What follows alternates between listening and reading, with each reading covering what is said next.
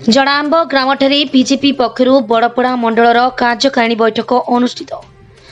ମାଲକାନଗିରି ଜିଲ୍ଲା ଚିତ୍ରକୋଣ୍ଡା ବ୍ଲକ ଅନ୍ତର୍ଗତ ଜଡ଼ାମ୍ବ ଗ୍ରାମଠାରେ ଭାରତୀୟ ଜନତା ପାର୍ଟି ପକ୍ଷରୁ ବଡ଼ପଡ଼ା ମଣ୍ଡଳର କାର୍ଯ୍ୟକାରିଣୀ ବୈଠକ ଅନୁଷ୍ଠିତ ହୋଇଯାଇଛି। ଉକ୍ତ ବୈଠକଟି ବଡ଼ପଡ଼ା ମଣ୍ଡଳ ସଭାପତି ଦାସ ଗୋଲେଲଙ୍କ ନେତୃତ୍ୱରେ ହୋଇଥିଲା। ସର୍ବପ୍ରଥମେ ଅତିଥିମାନଙ୍କୁ ମଞ୍ଚରେ ମଞ୍ଚାସୀନ ହେବା ପାଇଁ ମଣ୍ଡଳ ସଭାପତି ଶ୍ରୀ ଗୋଲେଲ ଆମନ୍ତ୍ରିତ କରିଥିଲେ। ତାପରେ ଭାରତ ମାତାଙ୍କ ତୈଳଚିତ୍ରରେ ଅତିଥିମାନେ ଧୂପ ପୁଷ୍ପ ଦେଇ ପୂଜା କରିବା ପରେ ବୈଠକ ଆରମ୍ଭ ହୋଇଥିଲା।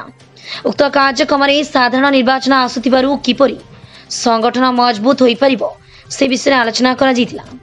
ଉକ୍ତ ବୈଠକରେ ରାଜ୍ୟ ବିଜେପି ଅନୁସୂଚିତ ଜନଜାତି ମୋର୍ଚ୍ଚାର ସମ୍ପାଦକ ଜଳନ୍ଧର ନାୟକ ଭାରତୀୟ ଜନତା ଯୁବ ମୋର୍ଚ୍ଚାର ଜିଲ୍ଲା ସାଧାରଣ ସମ୍ପାଦକ ଜ୍ୟୋତିରଞ୍ଜନ ବେହେରା ଚିତ୍ରକୋଣ୍ଡା ମଣ୍ଡଳ ସଭାପତି ହେମନ୍ତ ସଗଡ଼ିଆ ପୂର୍ବତନ ଜିଲ୍ଲା ପରିଷଦ ସଭ୍ୟ ଜୟରାମ ପୁନା ଚିତ୍ରକୋଣ୍ଡା ମଣ୍ଡଳର ସାଧାରଣ ସମ୍ପାଦକ ଉଦୟ ଖିଲ ବଡ଼ପଡ଼ା ମଣ୍ଡଳର ସାଧାରଣ ସମ୍ପାଦକ ଧନ ଗଲୋରି ପ୍ରମୁଖ ମଞ୍ଚରେ ମଞ୍ଚାସୀନ ଥିବାବେଳେ ମଣ୍ଡଳର ସମସ୍ତ ପଦ ଅଧିକାରୀ ଉପସ୍ଥିତ ଥିଲେ। ଶେଷରେ ମଣ୍ଡଳ ସଭାପତି ଶ୍ରୀ ଗୋଲେଲ ସମସ୍ତଙ୍କୁ ଧନ୍ୟବାଦ ଅର୍ପଣ କରି ବୈଠକ ସାଙ୍ଗ କରିଥିଲେ।